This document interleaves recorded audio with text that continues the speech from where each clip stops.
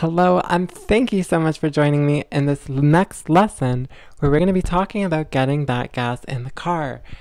This relates to the way that we share and receive love. Now, there's a really interesting discovery proposed by Gary Chapman.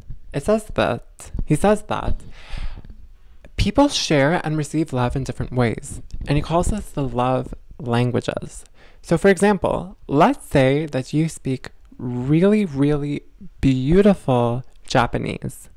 Okay? And your partner doesn't understand Japanese, they speak Spanish. It doesn't matter how lovely, how beautiful what you're saying in Japanese is to your partner, they're not going to understand. This relates the same way to the way that we share love. So, Gary Chapman says that people experience love in five main ways, okay? Five main ways. These are their languages. I want you to think of them like languages.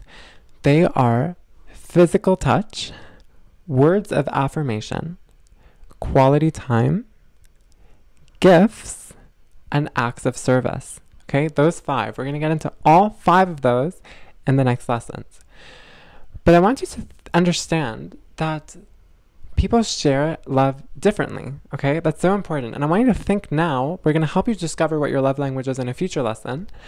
But I want you to just think now, how do you share love? And I'm going to give you these questions before we get into those love languages, okay, to think about them right now.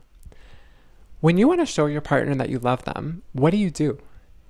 What do you do? Do you like buy them a gift? Do you unload the dishwasher? Do you make time to talk to them over tea or something? Do you plan a trip together? Okay? Do you um do you want to go for a walk together? Do you want to give them flowers? There are lots of different ways that we share love. I want you to just think about this because it, it's really important that you think about it now before we get into it.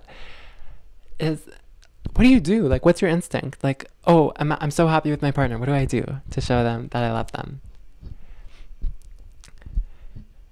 Think about this right now a little bit and maybe make a list of ways that you like showing your partner that you love them.